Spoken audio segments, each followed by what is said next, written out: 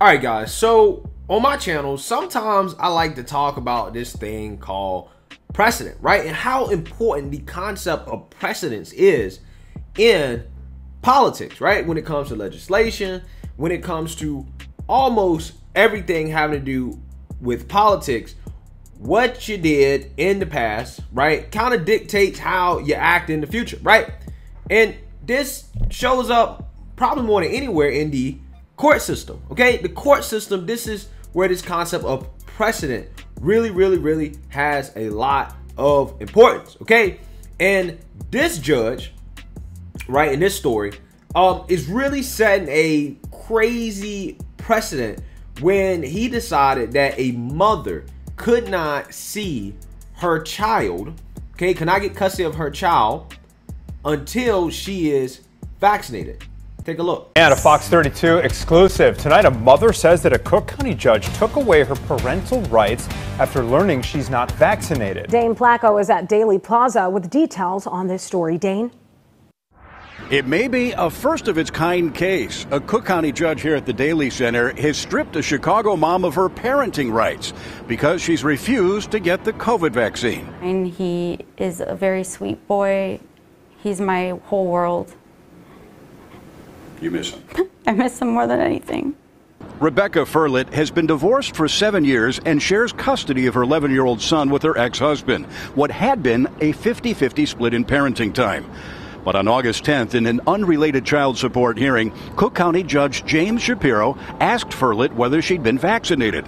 When she told the judge no because she's had bad reactions to vaccines in the past, Judge Shapiro stripped Firlit of all of her parenting time until she agrees to get vaccinated. I think that it's wrong. I think that it's dividing families, and I think that it's not in my son's best interest to be away from his mother. Firlit is now asking the appellate court to stay the judge's order. Her attorney saying the judge has overstepped his authority. You have to understand, the father did not even bring this issue before the court.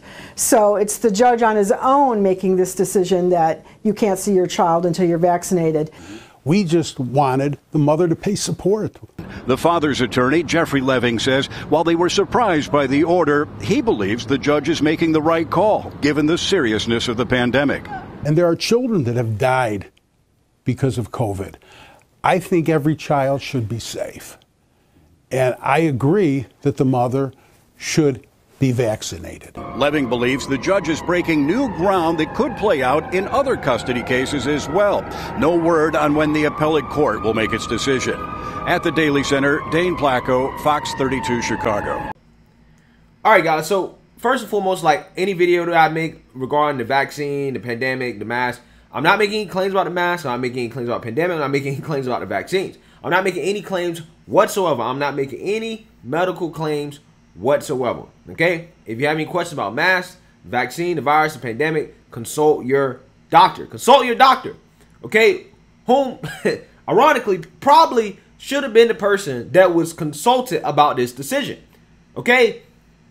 That, that's the person that should have been consulted here, guys. I think it is obvious that the judge overstepped his boundaries here. Right? I, I think it's very, very obvious. Who is a judge to decide whether or not the vaccine is appropriate for this woman, right? He's not the one that's supposed to decide that. That's supposed to be something that she discusses with her doctor. That's between her and her medical professional. Okay? And, and this is why this this precedent is so is so crazy because guys, like you said in the video, this could have an effect on how future custody battles play out, right? And I mean that leads to natural question of if both parents weren't unvaccinated, then what would they have done? Would had they had took the child away from the parents because they both weren't vaccinated? Because now, again, like I told you guys, this precedent that this man is setting, um, why won't you just take another step? Why would you just take another step? Because if that's enough justification to take away the rights to see your child from one parent, then it would have to be from the other parent too right? And if both parents are not vaccinated, then what do you think that leads to?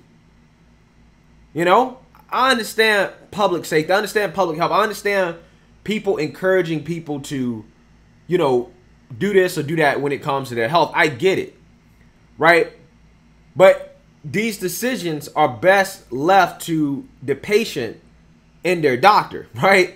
That, that, that that's who they're supposed to be having these conversations with. These, these are the people that's supposed to be making these decisions. The judge does not have a medical degree, right?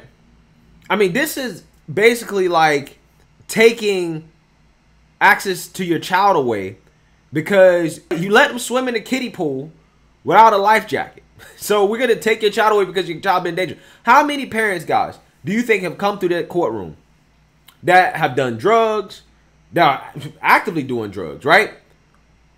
That are clearly unable to take care of their child or put their child in a safe, caring environment, an environment where they're gonna be successful, and they was allowed to keep custody. I'm pretty sure a whole lot of them, right? We're not out here taking away children because their mother smokes cigarettes. Okay, because you can say a mother smoking cigarettes in her child's presence, that child getting secondhand smoke. Matter of fact, I I literally just seen that the other day, right? Mother picking up her kids from the mall, smoking, right? Smoking. Now she might have been smoking out the window, but still, you can't say they're not getting secondhand smoke, right? Ton of kids in the car, small kids. Should her children be taken away because of that? You know, I mean, that's a health risk. Again, there's a lot of questions here when, when you start to see this type of thing happen. It really is. It's a lot of questions. You know, like at, at the end of the day, why is it so hard for people just to say, listen, talk to your doctor, right? Talk to your doctor, talk to your medical professional. But judge wants to be that too. Guys, th- this right here, guys, this is crazy. This is sad. So let me know what you guys think. Make sure you like, comment, and subscribe. Most importantly, share a black conservative perspective. Peace.